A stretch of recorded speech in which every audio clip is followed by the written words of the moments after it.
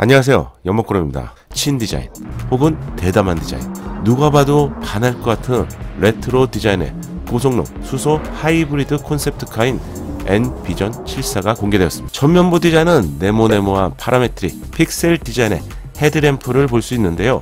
이 디자인은 이미 아이오닉 5나 아이오닉 6에서 먼저 봤는데요. 그런데 이 차량보다는 N비전 74에 훨씬 잘 어울리는 디자인이죠. N비전 74는 내연기관 고성능 스포츠카를 연상시키는 그런 디자인의 각진 디자인과 선과 면이 결합이 되었는데요. 이런 이유에서 동일한 픽셀 디자인이 엠비전 74를 위해서 탄생한 것처럼 정말 잘 어울리는 느낌인데요. 대담한 디자인에 본인에는 두 줄의 파워돔 디자인을 볼 수 있는데요. 오버팬들을 완전히 감싸는 디자인에서도 인상적인 굵은 선이 삽입이 되면서 쐐기형 디자인의 절정을 보여주는 느낌이네요. 바로 옆에 있는 차량은 포니의 파생 모델인 포니 쿠페인데요. 아쉽게도 양산까지는 진행이 되지 못한 차량이죠. 공력 성능을 극대화시킬 것 같은 각진 범퍼의 디자인 옆에는 74라는 숫자를 볼 수 있습니다. 74는 1974년도에 포니가 세상에 탄생한 연도이죠. 측면부 디자인은 뭐 무슨 설명이 필요할까요? 눈으로 보면 바로 알 수 있고요. 느낄 수 있는데 말이죠. 여러분이 지금 보시는 디자인은 수소 하이브리드 전기차입니다. M비전 74에서 유일하게 부드러운 디자인을 볼 수 있는 부분은 바로 휠이죠. 날카로운 선과 면이 조합된 디자인이지만 아마 디자인을 모르는 초등학생부터 어르신까지 누가 보더라도 어 멋진데 이런 말이 나올 것 같은데요.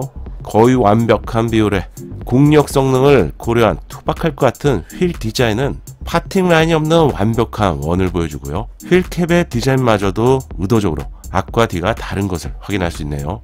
후륜 바퀴 휠캡은 레드 색상에 적용되면서 강렬한 느낌이고요. 측면부의 커다란 덕트 디자인은 aerodynamic을 고려한 디자인이라기보다는 수소 하이브리드 전기차만의 발열을 고려한 디자인 요소죠. 긴 long hood와 긴 front overhang, 리어 오버행이 보여주는 비율과 포니 쿠페와 같은 완벽한 실루엣은 지금까지 이런 차량을 양산차에서는 보기 힘들었죠. 실제 양산이 될지 이 부분에 대해서는 언급이 되지 않았지만 N 비전 74라는 이름에서 알 수 있듯이 현대차는 그동안 비전이라는 단어가 들어간 차량은 양산과는 좀 거리가 있었는데요. 이런 이유에서 컨셉트카에 가까울 것 같네요. 만약 양산이 될 수 있다면 현재 최고의 몸값을 자랑하는 뭐 페라리나 부가티 정도의 가격은 당연히 받아야 될 것 같은데요. 그럼 후면부 디자인도 빠르게 볼게요. 후면부 디자인도 완벽한 그 자체인데요. 네모네모한 픽셀 디자인과 엠비전 74가 정말 잘 어울리는 느낌인데요. 비록 양산이 되지 않았지만 포니 쿠페에서 전기 쿠페의 모습으로 탄생한 엠비전 74는 현재 양산이 되고 있는 아이오닉 5나 EV6보다는 좀 더 작은 배터리인 약 60kWh 정도의 배터리를 장착한 차량이라고 알려졌는데 이 작은 배터리만으로 600km 이상을 주행할 수 있다고 하네요. 오늘 소개해드린 아이오닉 6와 엠비전 74의 소식은 앞으로도 계속 업데이트해서 알려드릴게요.